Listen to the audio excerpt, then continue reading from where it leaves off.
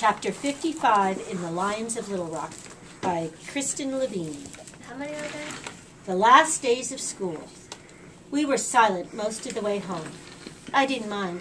After seeing Jay's t- JT's parents, his father so angry and vicious, and his mother as passive as a wallflower, my family's little spat seemed like a child's game. Daddy was just turning onto our street when he said, We need to talk about your punishment. I'd say she deserves to be grounded until the end of the school year, said Mother. That's fair, I admitted. Actually, that was more than fair. The end of the year was only two weeks away. I'd expected worse. Marley, said Daddy, taking the dynamite from Red was reckless and impulsive. I nodded. But it was awfully brave, too. He almost sounded proud of me. Marley listens to lions, said Mother. And Daddy didn't even ask what she meant. I guess somehow he knew. I tried calling Liz again the next morning, but her number had been disconnected. Even though I knew it wasn't fair of me, I suddenly hated Liz's mother. On the last day of school, JT came up to me while I was cleaning out my locker. Red's gone, he said. I nodded. Well, I wasn't sure what to say. There wasn't enough evidence to charge him with a crime, JT explained. But my father made him join the army. He's only 17, so my dad had to sign an extra form. But he's gone. I'm sorry, I said. No, said JT. I'm glad.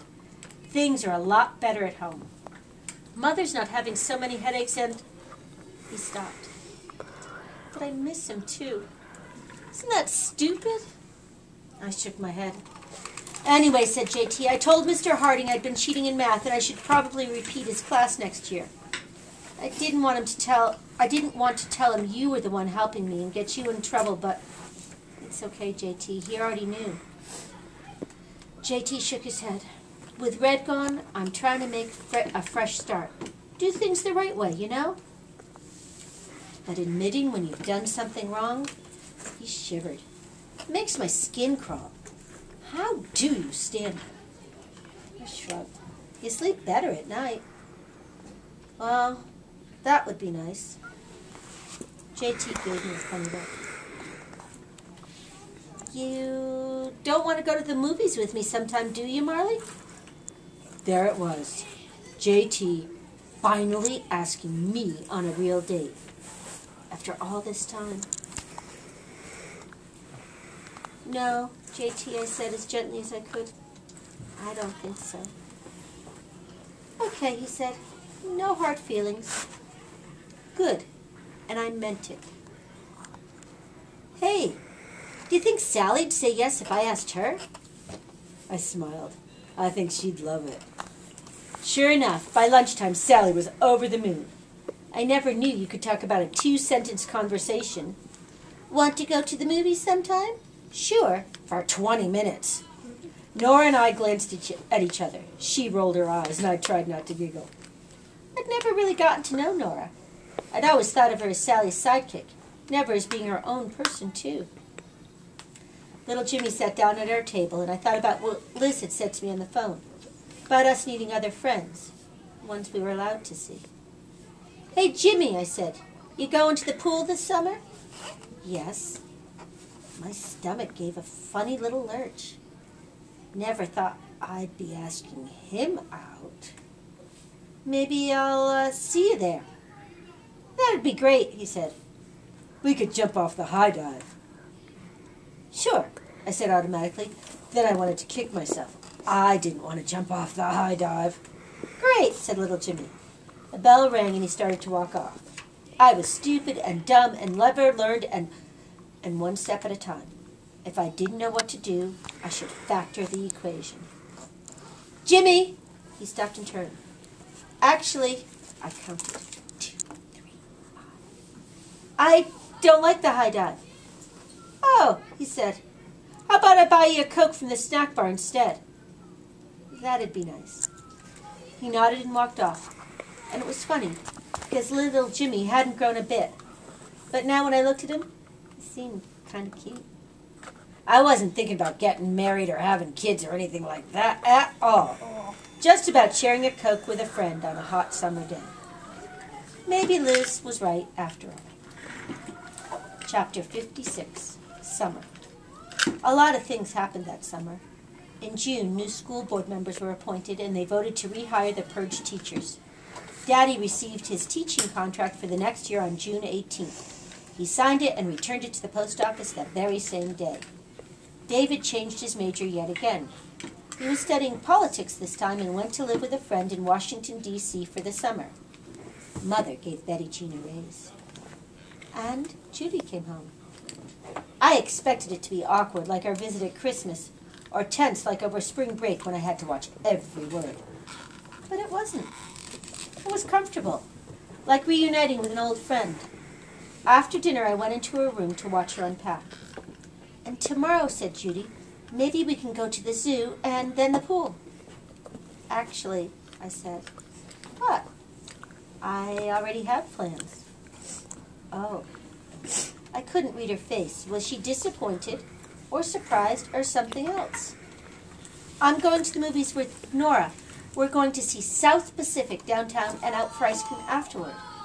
Oh, Nora, huh? You can come too if you want. Nah, I really wanted to catch up with Margaret. To my surprise, Judy was smiling. I was just trying to be nice to you. But it sounds like you don't need me to arrange your social life anymore.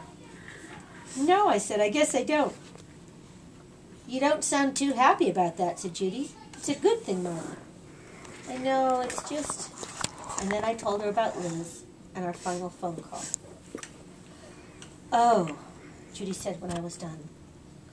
Well, last time she disappeared, you sent her a note, didn't you? Yes, he said. Well, said Judy, maybe you should try it again. So I wrote Liz a note. It was really more of a letter this time. I told her about how little Jimmy and I had had our Coke by the pool, how we'd eaten a burger at Crystal and gone skating at Troy's on a rainy afternoon. I told her that Nora, turned out like cards, and was almost as good at hearts as I was. I told her how JT and Sally were going steady, and how it seemed to make them nicer to everyone, mm, at least most of the time. Most of all, though, I told Liz about how I went to the zoo every Tuesday afternoon by myself and thought about her and the past year. I told her how red was gone and that I still had the Book of Magic Squares. Every time I added up a row, column, or diagonal, I thought of her. I promised to be at the zoo every Tuesday afternoon that summer, just in case she ever wanted to join me by the lions. I was just getting ready to seal the letter and run it over to Pastor George to give to Liz at youth group, just like I'd done before, when I thought of something else. I looked through my purse and found the tattered black feather. I tucked it inside and left the envelope shut.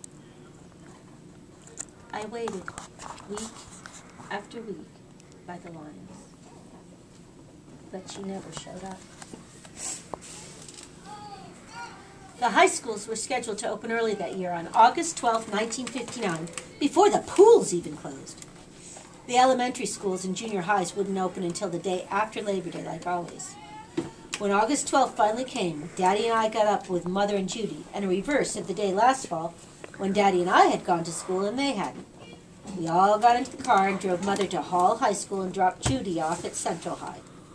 On the way home, one of the streets was blacked off. Daddy parked the car and we got to, out to see what was going on. There were more than 200 people in the street, some in cars and some on foot. In the front walked a man holding a Confederate flag. Others held signs reading, Arkansas is for Faubus, and Race mixing is communism. What's going on? I asked Daddy. They're protesting, said Daddy in a monotone. We're marching to Central, a man called out. Stopped them last year, we will again. No, Daddy muttered, not again. A car was playing Dixie way too loud. This is how it started in 1957, whispered Daddy. Protests that turned into mobs, and the police did nothing. Daddy and I turned and saw police and firemen up ahead. They'd set up a small barrier. Daddy shook his head. They're going to let the protesters pass, just like they did two years ago. But I thought, I saw something different in their faces a determination to make Little Rock a different place than it was before.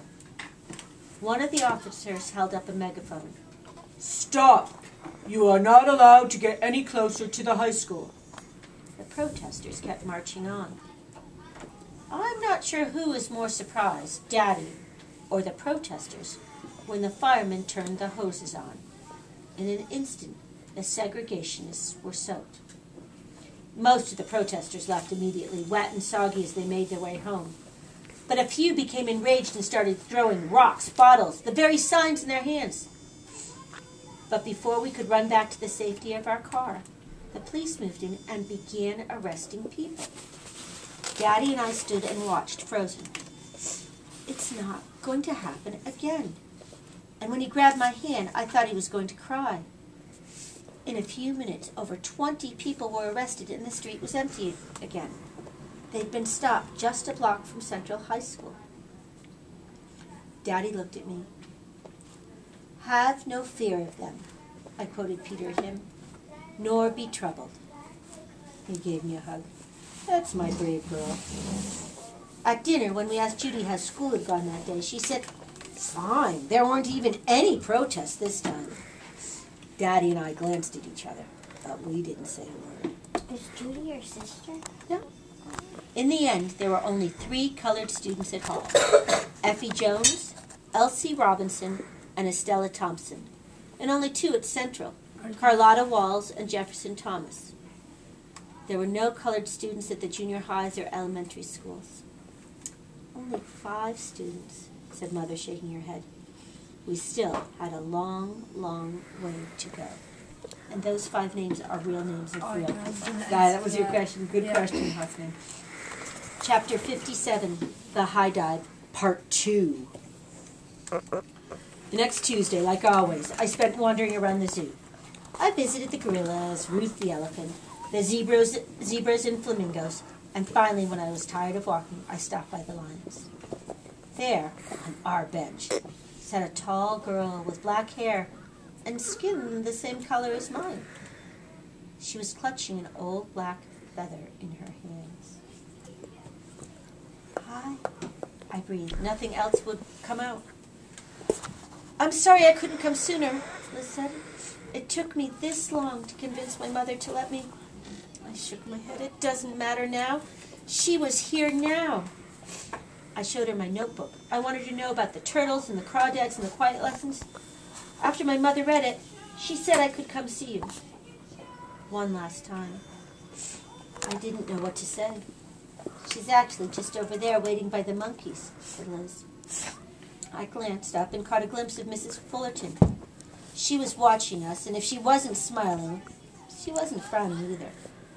I thought of how scared she must have been this past year, and suddenly I no longer blamed her for keeping us apart. I waved, and after a moment she nodded in return. So, said Liz, the school's reopened. Yes. Integrated. Even if it is just a token number of Negroes, it's integrated. I finished. Yeah, said Liz. There was a long pause. Finally, I sat down on the bench next to her. How's Curtis? I asked. Fine, Liz said and blushed, which told me everything I wanted to know. How's little Jimmy? I like him a lot, I said. Though I think just as a friend. Anyway, you were right. I did need other friends, even if they aren't friends as good as you. Are we still friends? asked Liz. Of course, I said. We'll always be friends. Even if we don't ever get to see each other? said Liz. I've thought about it a lot, I said. I think a friend is someone who helps you change for the better. And whether you see them once a day or once a year, if it's a true friend, it doesn't matter. You're pretty good at saying what you think now. I learned from the best. Liz smiled. Remember when we saw The Wizard of Oz at the gym? Of course I remember. I said, it was the first movie we saw together. It was the only movie we saw together, Liz said. There'll be others. Someday, said Liz. Things will be different, I believe. Somewhere, said Liz, over the rainbow. She stood up. Until then, call me. And then she was gone. On the seat where she'd been sitting was another three by three magic square.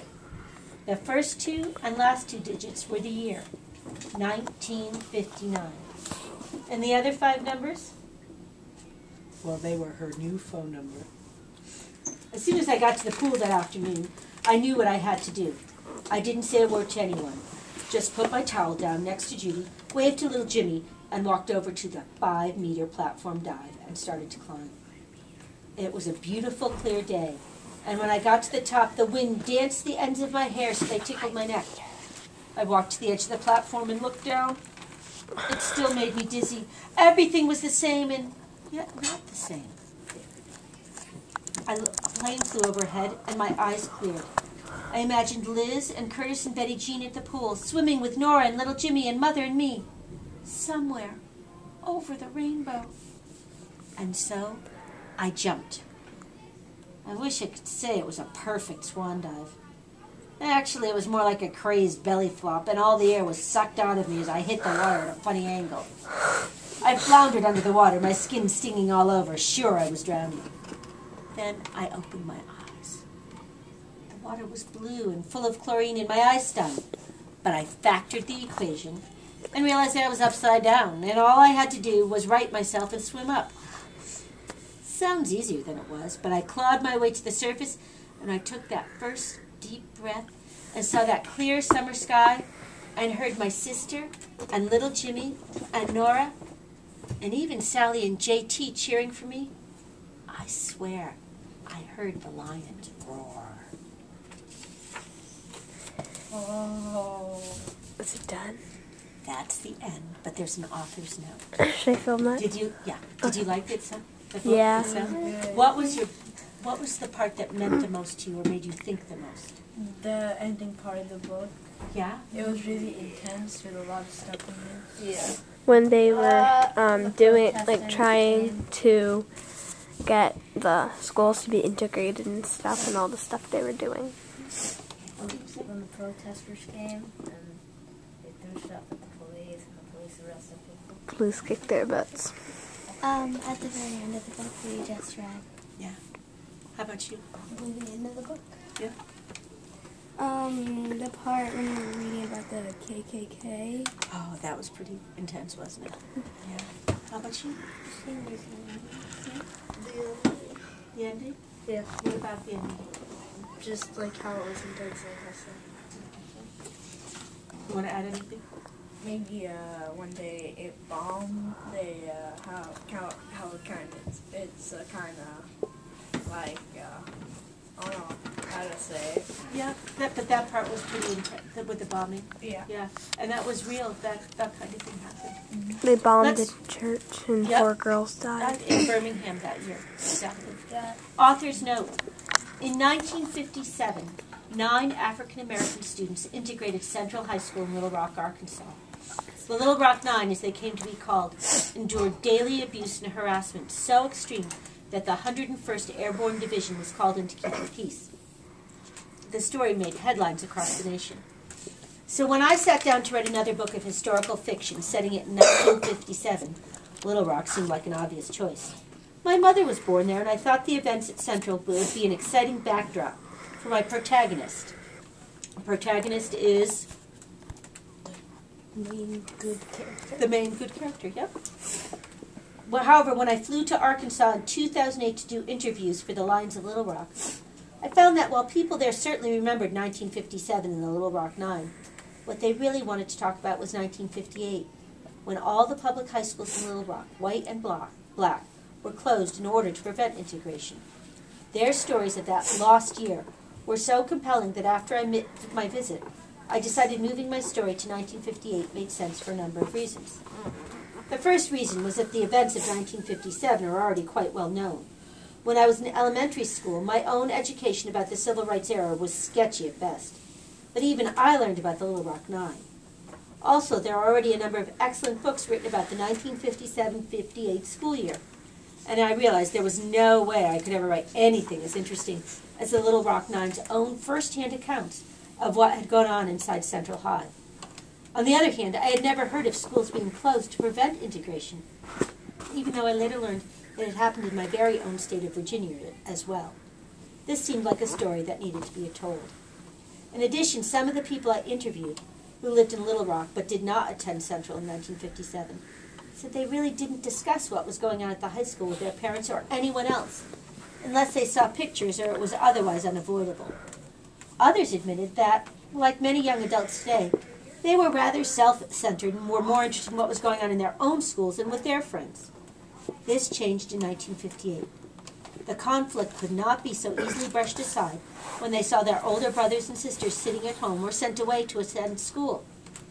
Perhaps it wasn't as dramatic as soldiers at a high school, but on an everyday basis, more people were affected. Finally, 1957-58 was a terrible year. That the Little Rock Nine endured and no one was killed was probably the high point. Many citizens of Little Rock were embarrassed that the world saw only the hate and bigotry in their time.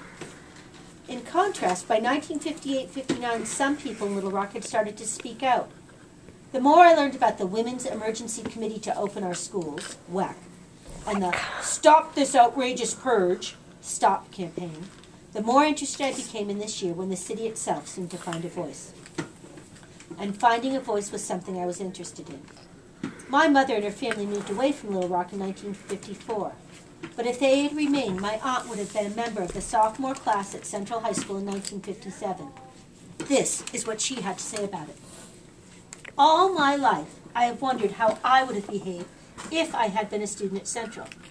I know without a doubt I would not have called names or been rude. But my real question to myself is would I have been kind? I'm afraid I would have done nothing. Perhaps no one can think of 1957 58 as the year many did nothing, when the voices of the segregationists drowned out the thoughts of everyone else. By 1959, however, many of those people with kind thoughts had finally started to speak up. I don't want to give the impression that the struggle for integration in Little Rock was over in 1959. It wasn't. But it seems like the beginning of the end, in a way that 1958 really does not. My hope is that the Lions of Little Rock will allow a more complete view of what happened in Little Rock during those years. Although this book is fiction, I have tried to be as historically accurate as possible, especially in my portrayal of the WEC and the STOP campaign. The books and videos listed below were invaluable in learning about the time and are a great starting point for anyone wanting to learn more.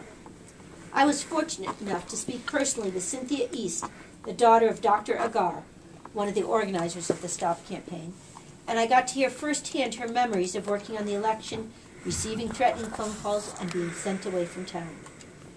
Marley and Liz are fictional characters.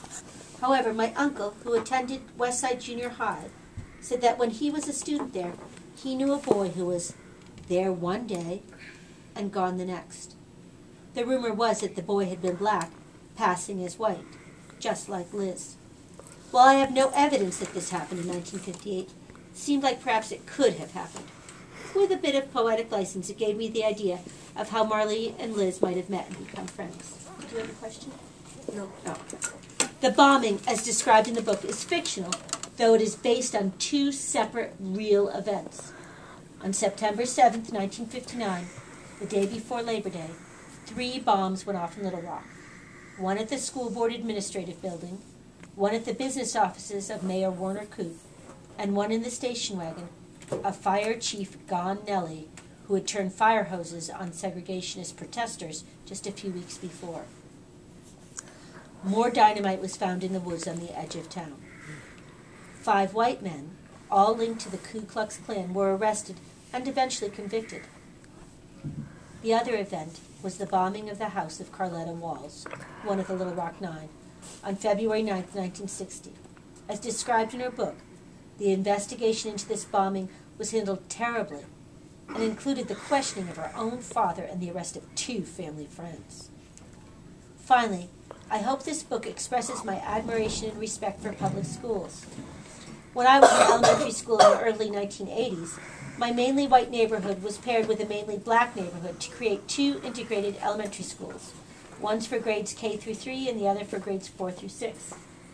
When I asked my parents why I had to ride the bus to school instead of just going to the school nearest my house, They told me it was a great opportunity for me to go to school with people who were different from me by race, social class, religion, everything. They said it was only fair that the busing be shared by both neighborhoods. Their enthusiasm for the pairing of our schools made a huge impression on me. Sometimes I think people today forget that public schools are not just about reading and writing, math and test scores, but also about bringing different types of people together. I'll never forget my parents' belief that school integration was important and beneficial to all of us, no matter what our color. Kristin Levine, June 1st, 2011, Alexandria, Virginia. And she has a list of books and films at the back of her authors. Nope. Oh, that So long if you're author. But it was all interesting. I wasn't even here. Yep. But you know what? We filmed it so you'll be able to watch it. You can watch it on So, the like, video. touch the red button. Yep.